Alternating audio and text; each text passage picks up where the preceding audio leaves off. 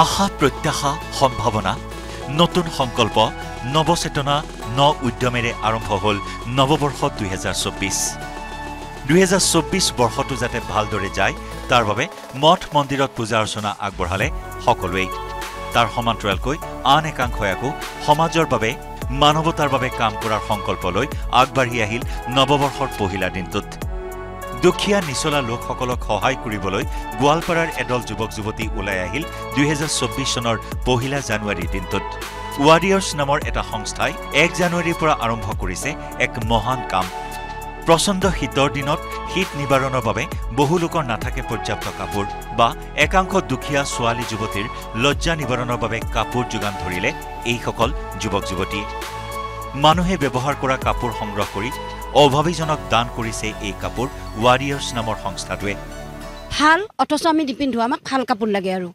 আমি কৰিম কি যিখিনি মহান ব্যক্তিয়ে তেওঁলোকৰ পুৰণি কাপোৰখিনি ভাল হ'ব লাগিব দেই। সেই কাপোৰখিনি আমাৰ ইয়াতে এটা নাম্বাৰ আছে সেই নাম্বাৰটোত দিলে আমি ইয়াত জমা কৰিম আৰু সেই দুখীয়া নিচলা মানুহখিনিক অভাৱগ্ৰস্ত মানুহখিনিক বা শীতৰ পৰা ৰক্ষা পাবৰ কাৰণে লাজ নিয়ন্ত্ৰণ কৰিবৰ কাৰণে লাজ থাকিবৰ কাৰণে যিখিনি কাপোৰ লাগে আমাৰ পৰা ইয়াতে সাধ্যানুসৰি দিয়া হ'ব।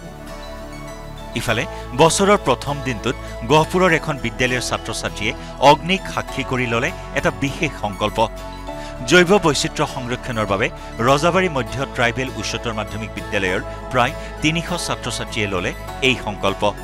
প্ৰকৃতিবিদ বকুল গগৈৰ উদ্যোগত গহপুৰৰ প্ৰতিখন বিদ্যালয়ৰ ছাত্ৰ ছাত্ৰীৰ বাবে প্ৰতিটো দিনৰ প্ৰাৰ্থনা সভাত থাকিব এই সংকল্প। গহপুৰৰ লগতে অসমৰ অন্যান্য ঠাইসমূহত জীৱ জন্তু চৰাই চিৰিকটি গছ গছনি আদি ধ্বংস বৃদ্ধি পোৱাত এই পদক্ষেপ গ্ৰহণ কৰিছে বৃক্ষ মানৱ বকুল গগৈয়ে। প্ৰতিটো দিন এটা ভাল চিন্তা আৰম্ভ কৰিব লাগে আৰু আমি এই বছৰটো আমি ভাল চিন্তা আৰম্ভ কৰিবলৈ আমি সংকল্প লৈছোঁ।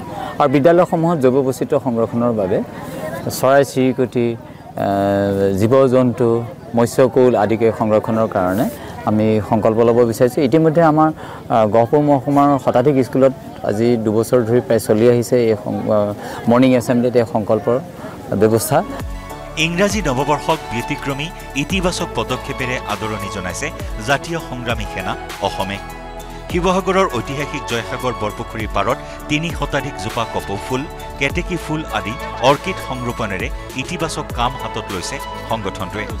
জয়সাগৰ পুখুৰীৰ পাৰ পৰিষ্কাৰ কৰি তাত থকা গছসমূহত কপৌ ফুলৰ লতা সংৰোপণেৰে জাতিষ্কাৰ কৰি তোলাৰ কাম আৰম্ভ কৰিছে জাতীয় সংগ্ৰামী সেনা অসমে।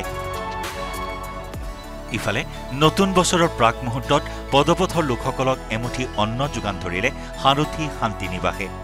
নৱবৰ্ষৰ প্ৰাক্ষণত সাৰথী শান্তি নিবাসৰ ব্যতিক্ৰমী পদক্ষেপ। দুহেজাৰ তেইছ বৰ্ষত ৰঙিয়াত গঢ় লৈ উঠা সাৰথী শান্তি নিবাস নামৰ অনুষ্ঠানটোৱে গৰাকীবিহীন লোকসকলৰ কাষত সাৰথী হিচাপে থিয় দি আহিছে।